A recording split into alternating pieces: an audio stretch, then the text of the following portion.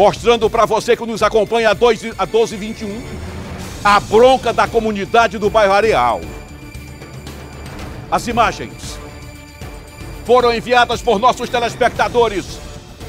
O problema acontece na rua principal do bairro. O cano está estourado há mais de cinco meses, um grande desperdício de água. E isso está danificando a parte lateral da rua.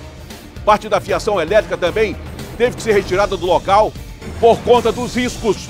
Os moradores recorreram ao Gazeta Alerta para mostrar o problema e exigir uma solução do poder público. Olha só, um vazamento de água danado. É claro, amolece o asfalto, amolece o solo. Olha como é que fica. Olha como é que fica. É a contribuição dos nossos telespectadores.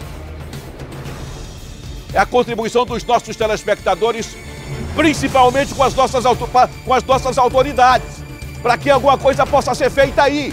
Isso é o bairro Areal. Bairro Areal. Pessoal colocando a boca no trombone. Imagens enviadas para o nosso WhatsApp. 9989-1060. Muito bem. O programa da comunidade mostrando o que acontece na periferia. Mostrando o que acontece na periferia da cidade. Enquanto se desperdiça água ali, lá no Abunã, no residencial Abunã, cai água de três em três dias. Aí as coisas ficam difíceis.